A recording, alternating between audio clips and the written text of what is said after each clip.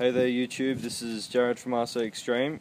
I'm just here to show my dad's latest creation sort of thing.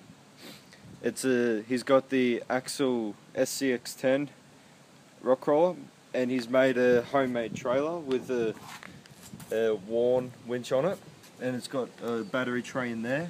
It's been polished down, it's got full ball bearings in the tyres, tyres have been painted as well as these front tyres and as you see it's got a full style sort of winch that actually makes it look as much as real as possible. And then you you just take this clip off. And this comes down. And this is my this is the Yeti that it's going to be winched on and Other way. And this is of the car going on.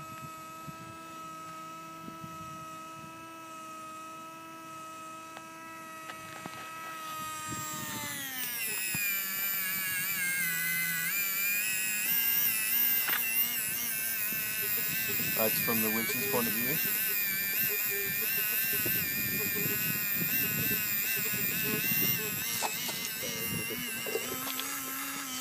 Bit.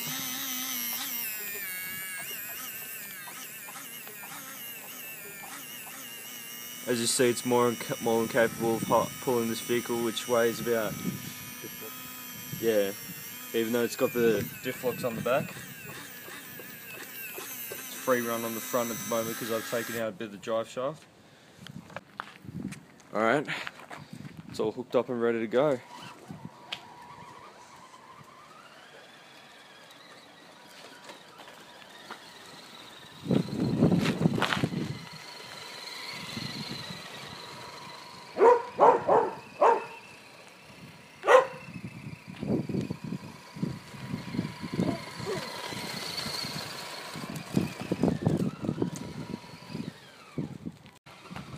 You can see it definitely has the power from the car to actually pull it. And it fits perfectly on it.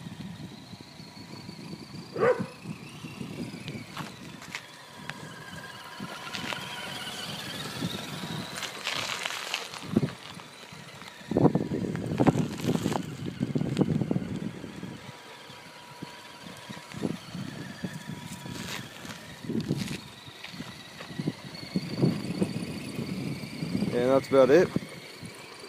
Alright, catch you later.